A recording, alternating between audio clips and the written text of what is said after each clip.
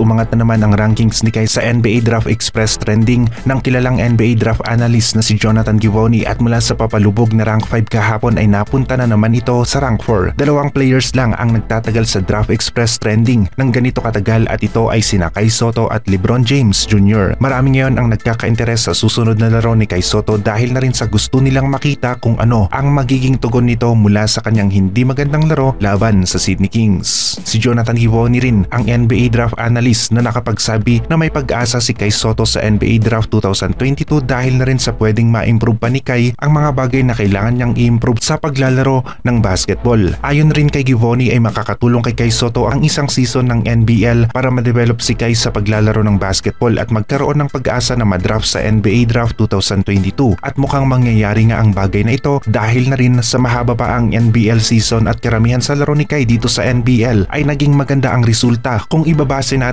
sa kanyang stats. Konting update na muna tayo tungkol sa team ng Adelaide 36ers at kay Coach Broton. Hindi nga ito makakasama sa dalawang home game ng Adelaide 36ers dahil na rin sa nagpositibo ito sa COVID. Pero siguradong gagaling naman ito at makakabalik sa team ng Adelaide 36ers pagkatapos niyang mag-quarantine. Ang magiging head coach ng Adelaide habang wala si Coach Broton ay si Jamie Perlman. Magiging matindi ang labanan ng Adelaide 36ers at ng Southeast Melbourne Phoenix at kahit na may konting pressure para sa Adelaide dahil wala ang kanilang head coach na si Coach Broton ay mukhang magiging maayos rin lang ang laro ng mga ito dahil nandyan si Coach Jamie Perlman. May konting pressure rin para dito kay Kai Soto dahil na rin sa inaabangan siya ng karamihan ng kanyang mga fans at gusto nila na makabawi ito mula sa kanyang huling laro. Nakita na natin na nakapaglaro ng maayos si Kai laban sa malalakas na teams gaya ng Melbourne United at Illawarra Hawks kaya naman siguradong babawi si Kai at magkakaroon ito ng magandang laro laban sa Southeast Melbourne Phoenix na team naman ni Joe Chi.